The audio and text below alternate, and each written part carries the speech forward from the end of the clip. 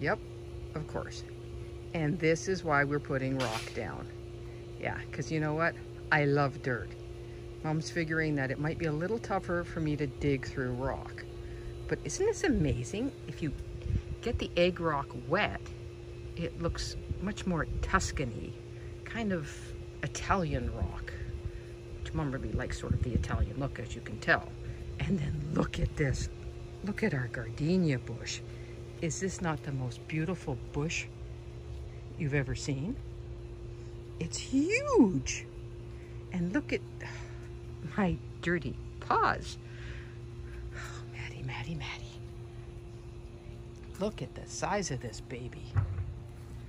It's very odd to have a grafted gardenia that has become totally flowering and wow. And it obviously thrives on neglect because it was here when we moved in. But yeah, I think I should maybe enter a gardening contest with the gardenia. Maddie and the gardenia, what do you think?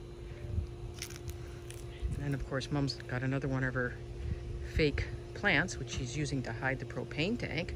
Pretty good idea, huh? So, yep, it's back to Lowe's for more bags of rocks, but we're almost done. The rock garden's looking good.